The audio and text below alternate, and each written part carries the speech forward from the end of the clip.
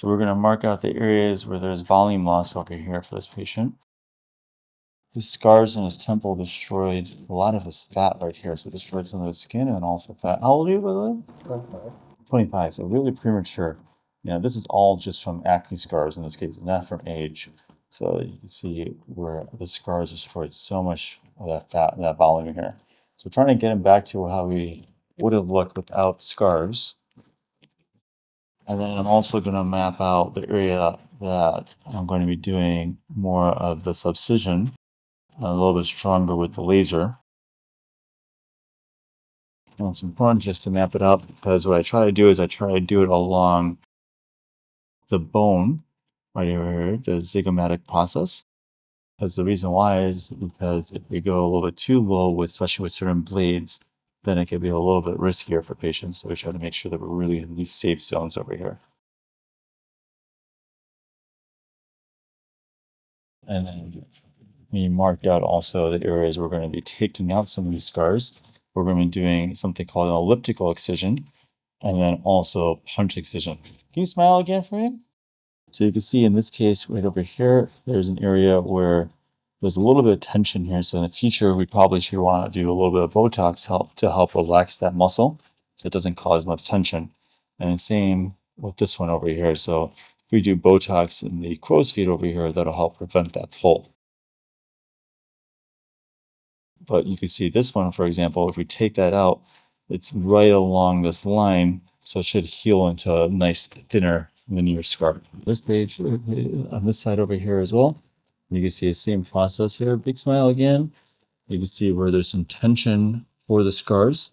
And that's what caused it to get a little bit longer like that. And so we're going to make it into a, a smaller scar by cutting it out. And then we're going to take out that scar as well. I need to relax again. Let's want to smile.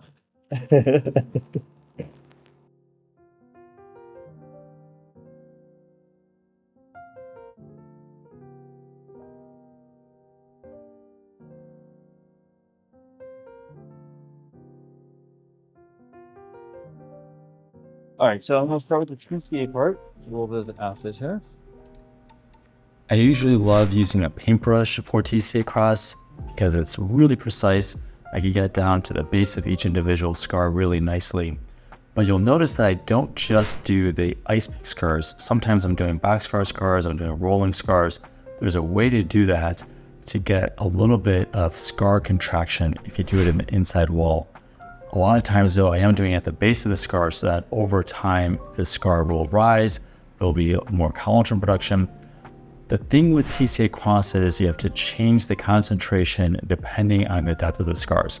That's something that's really confusing to a lot of people. People think that you need a really high concentration of TCA. It's just not true. You could actually get really great results by mixing different concentrations depending on the depth of the scars. You'll notice throughout the entire time I'm using angled lighting to make sure it's really safe. What I'm using next is an ablative form of the CO2 laser. It's really similar to something called dermabrasion, but in this case, I'm using a laser to surgically smooth down the walls of the scar. You can see I'm being really precise as I'm doing it. I could change it down to one millimeter if I want.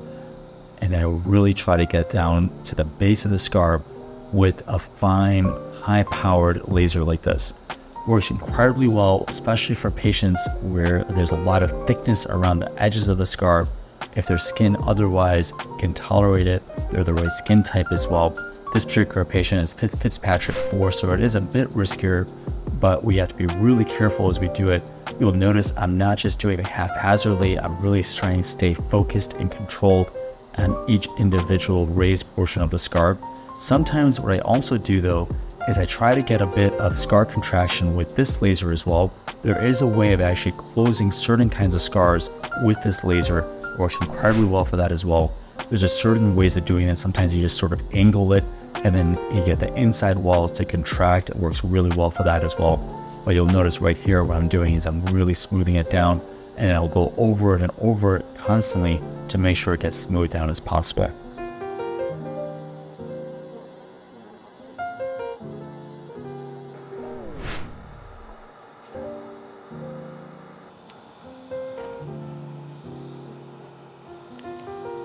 Next up, if you're watching me about to do subcision, this is a process that I do a ton, especially for these deep rolling scars. We're gonna really need to really break up these scars. You're gonna watch as I put a bunch of fluid in there, something called tumescent. It's a bunch of numbing solution in there. Everyone always asks, does it hurt? Doesn't hurt because of how much numbing solution we're placing in the patient. I find that you just, you wanna really stretch out the skin. It's gonna really help out with the scars. You'll notice right here, this is a blunt cannula I'm actually just feeling and testing each of those big, thick scar walls. I'm trying to actually just break those up.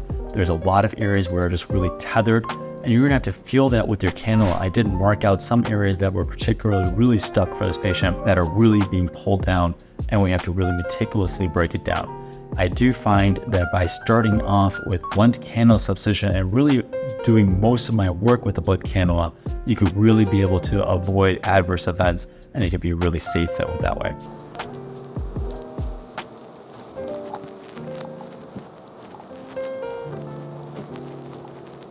So you feel all the tension right now, right? Mm-hmm. You feel all the cracking? Yeah. So I'm gonna take out these scars now, and then you'll see how feel, smooth it is gonna be after that. Let's go with all this arterials and start to see how it is. It's in the same areas that we suspected that we gotta take out. See all that? We're gonna take out those scars and then we'll do this again. See how it is.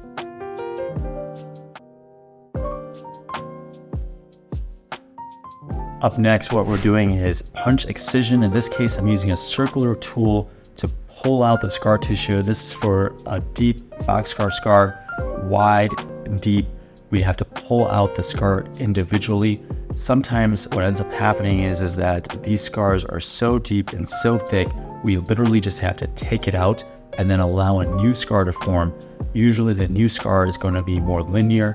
It's going to actually be more shallow over a matter of just a few weeks, really improving a lot of scar tissue. The challenge though is to do it in the right area. A lot of times I see people and they play, they do these excisions in areas that may not heal appropriately.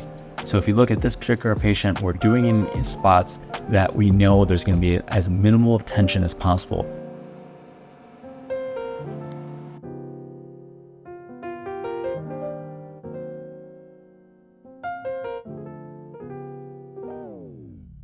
We're closing up these big scars now, making sure that it's going to be as small and undetectable as possible.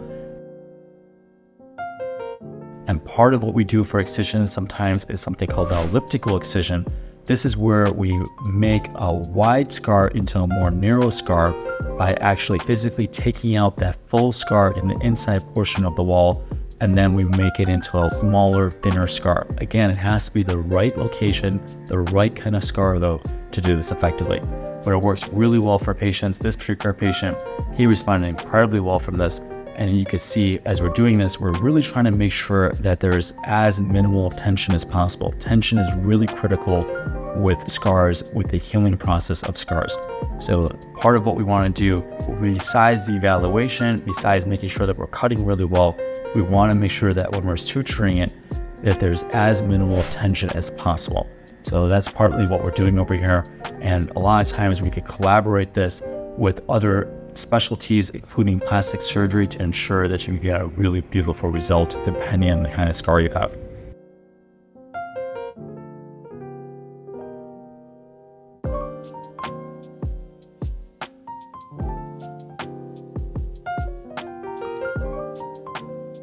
As we take out that scar though, you can see right here, we're really making sure then that the tension for this, the scar after a sutured is really going to be really minimal. Typically what we want to recommend doing is using something like silicone tape to really make sure the scar remains flat. And each individual scar that we're cutting out like this, we've evaluated to make sure that there's really minimal amount of tension here.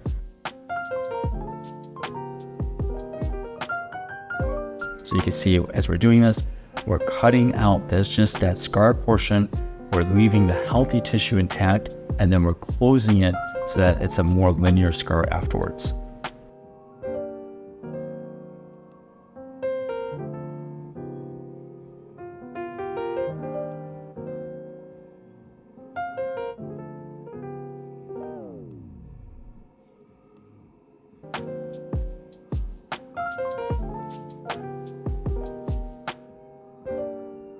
This is something I really pride myself on and making sure that we could have multiple specialties over at our practice because we want to make sure that with a scar, we are going to be able to achieve the best possible aesthetic. And sometimes that requires not just energy devices, but it requires certain tools or certain expertise to make sure that the scar is going to be as minimal as possible. And I have no problem making sure that we could get all the tools and resources to be able to achieve that.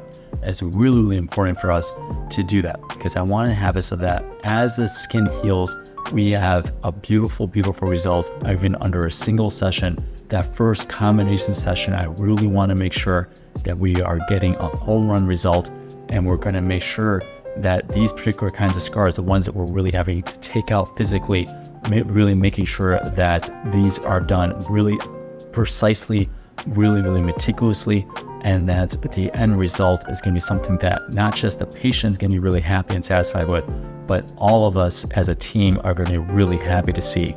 And for sure, we were able to achieve that.